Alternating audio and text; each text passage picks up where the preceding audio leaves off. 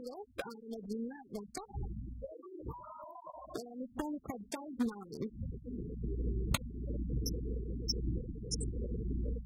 My whole life, I have been taught to do big things.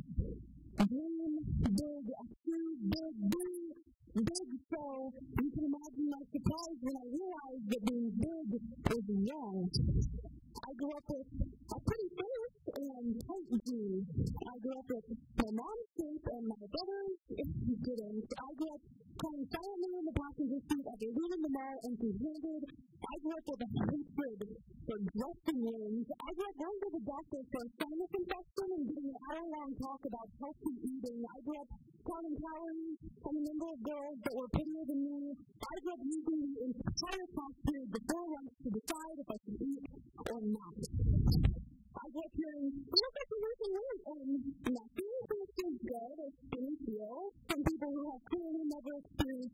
I grew up seeing boys obsessed over girls whose waists were smaller than their heads. I grew up with thigh gaps and perfectly sculpted abs force fed me like empty calories every single day. I grew up gasping for air.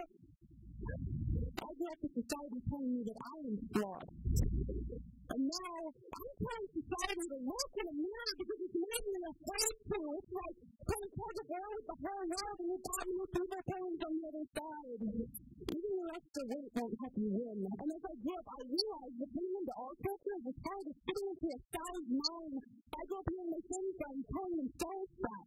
Wondering what that made me, I grew up spending hours in front of the mirror wishing I could fit myself into society's tiny black box of perfection that would surely suffocate me. But at least I fit in. I grew up with three friends. I grew up obsessed with the number on the scale. I through life as though it was printed across my forehead. I believed my weight would be antagonist in every book ever written about me. You couldn't see my straight A's on my first face. They only saw where my breast was my side,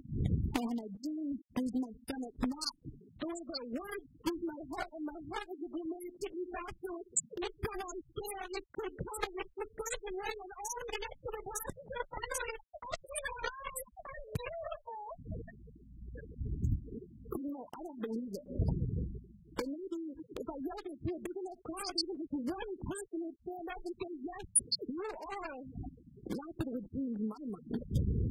And maybe somebody would see that the big shoes that I have to fill are the same size as anyone else's, and my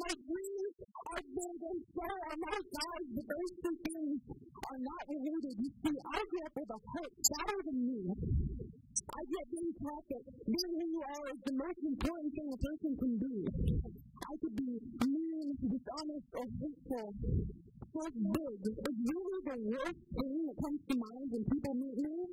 Also, rather than on my name tag.